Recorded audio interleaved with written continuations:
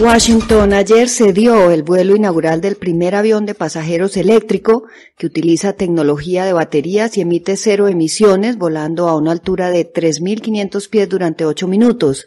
Ahora su compañía creadora está trabajando en el desarrollo de una aeronave que pueda ser certificada por la agencia reguladora estadounidense FAA.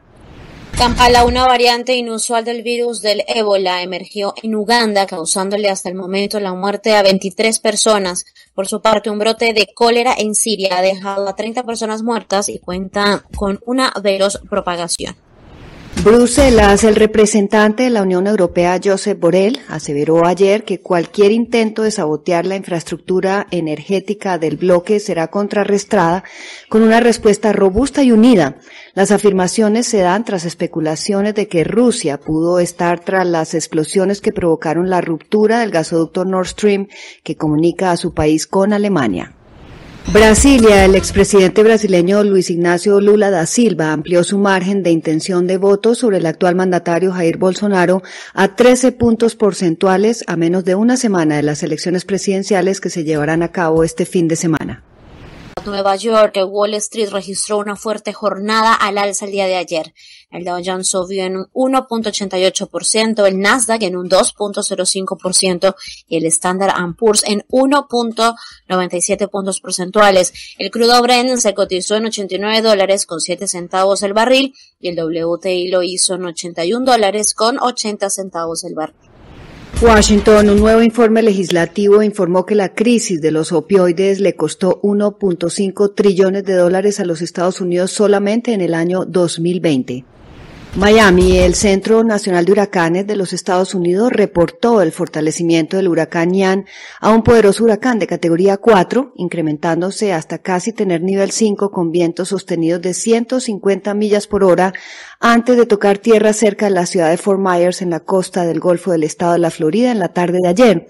2.5 millones de habitantes habían sido puestos bajo órdenes de evacuación obligatoria antes de la llegada de la tormenta, incluyendo áreas costeras de la ciudad de Tampa. Londres, el Banco de Inglaterra se vio forzado a intervenir en el mercado financiero para evitar su desplome, afirmando que comprará los bonos del gobierno británico a la escala que sea necesaria para calmar el mercado.